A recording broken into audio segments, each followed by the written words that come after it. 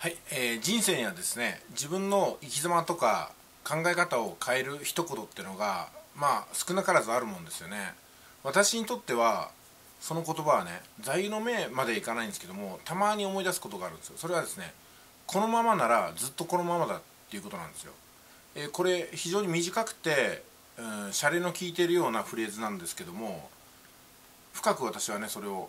心に留めたんですよね。このままだったらずっとこのままじゃんかっていうまさに当たり前なんですけども今日までしてきたことをまた繰り返すなら同じ結果に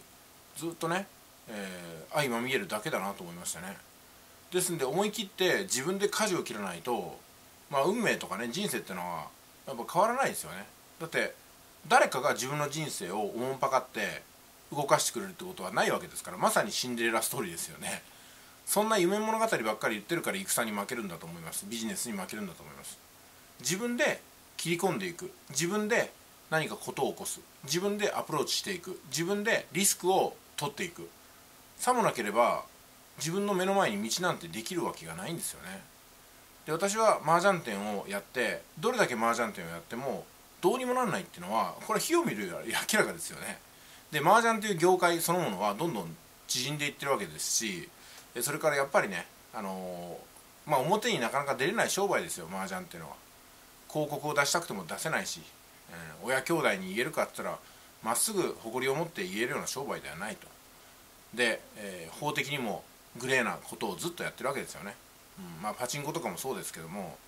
結局、うん、まあ一部の娯楽を麻雀にしてる人によって支えられていますけどもでもそれがね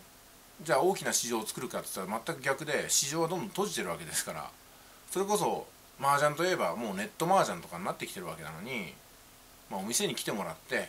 うん、そこそこルールを自分で解釈できる方と、うん、やっていくっていうのはやっぱね無理がありますよね、まあ、そこで麻雀の延長線上にはもう自分の人生はないというふうに私はすぐ思いましたね、まあ、ですので余計に飛び出すことをずっと願っていて待っていたわけですけども、まあ、インターネットの世界にビジネスの空間があるっていうのは私でも分かるわけですよ、ね、ネット麻雀っていうのがあるわけですから。リアルな麻雀ではお客さん来ないけどもネット麻雀の世界ではお客さんは急増していると。麻雀人口は増えている。でも店舗でやる麻雀っていうのは人口急激に減って経営難に陥ってそれこそ違法行為をしても潰れるようなところが多いわけですよ、まあ、シンプルにそう考えて下りのエスカレーターに乗り続けるのか上りのエスカレーターに乗るのかっていうことだけ。市場が広がってるものにポンと乗っていく。まさにインターネットってのは広告業とかコンテンツ販売通販ですからどんどんどんどん枠は広がってるんですよね。だって今ね10代の方がスマホを持たないってことはありえないと。二十歳前後で完全に皆さんスマホを持ってそこで検索したりね何かアウトプットしたりインプットしたりするわけですよ。じゃあそこの市場に食い込んでおかなくていうのはまあもともと商売にならないですよね。あのお客さんが見てるのが手の中ですからスマホですから。ね。だから街を歩いていても看板をこうやって見てはくれないわけですよ。スマホで目的地に一直線に Google マップで行く、うん、ただそれだけなんでね、うん、まあ麻雀は確率を下げるそんな商売ですよね。まあネットビジネスをやって本当に良かったなと思うのは扱えるものがほぼ無限ってことですよね。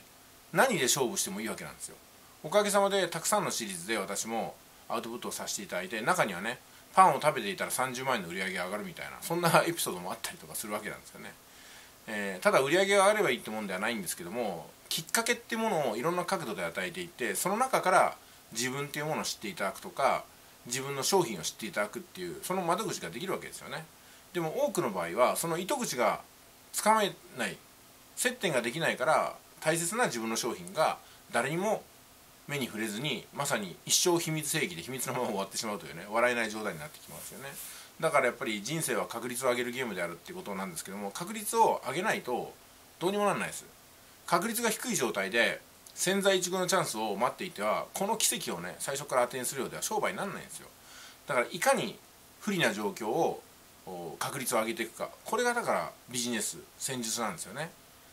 私たちは一般人で知名度もない、えーそして大きな資金もない。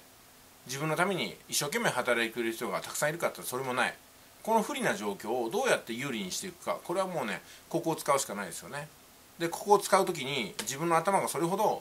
よくできてないなと思ったら広がってるマーケットにポチャンと使うのが一番ですよね。そうすると自分もそれにつられて広がっていきますから。私はそれを使っただけなんですよね、まあ、ですんでインターネットビジネスを始める前は麻雀店でしたけども麻雀っていう商品を使ってのし上がったわけでも 何でもなくってもう全く初めてのことばかりで、え、やってきましたね。自己アフィリエイトにしてもそうですしオプトインアフィリエイトにしてもそうですし転売にしてもそうですしね。その他のこと全てがそれまでずっと私の人生昭和47年生まれの人生で全く使わなかったものがいきなり40歳から2013年から全てスタートで始め出して全部初めてのことばかりでした。それでもまあ行くんですよね。3年で1億初年度2500万。この現実を目にした時にこれは今でも遅くないと思うんですけども情報発信をしていくしかないなと思います。だからお金がなくて困ってるんだったら情報発信をすればいいと思いますしまさに情報発信ができないんだったらビジネスはもう諦めるってことになりますね。まあそういう人はビジネスを諦めろ、うん、これに尽きると思います。いってらっしゃい。